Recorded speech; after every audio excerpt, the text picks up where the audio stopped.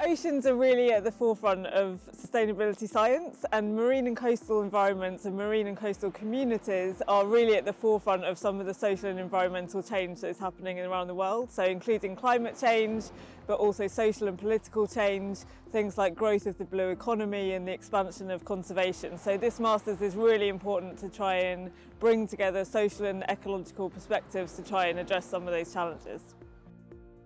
The key thing about this master's programme is that it's interdisciplinary, so it's bringing together um, ecological knowledge and knowledge about environmental systems, but also really placing social science at the heart of it. It's not an add-on, it is actually a fundamental and, and, pivotal part of the whole master's uh, programme. And we really start this master's by bringing these two dimensions together and giving them equal attention. We have a, a fantastic situation to do that with cross-campus and, and cross-disciplinary interactions among staff.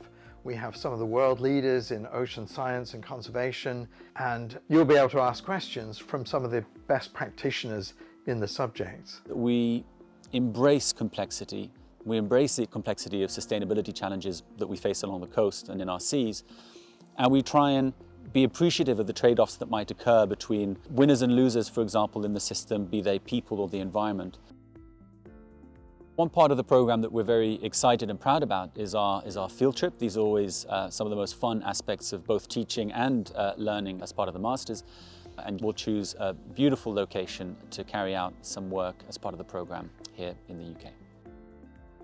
This course really prepares you for a wide range of careers. If you're interested in conservation or natural resource management, um, these are areas that really are needing social science expertise as well as the ecological expertise. So this course will prepare you, give you the foundation to contribute to those challenges, whether that's working for an NGO, for government and policy, uh, in consultancy or doing your own research in the future. Studying at this campus is amazing and it's wonderful because it's perfectly situated.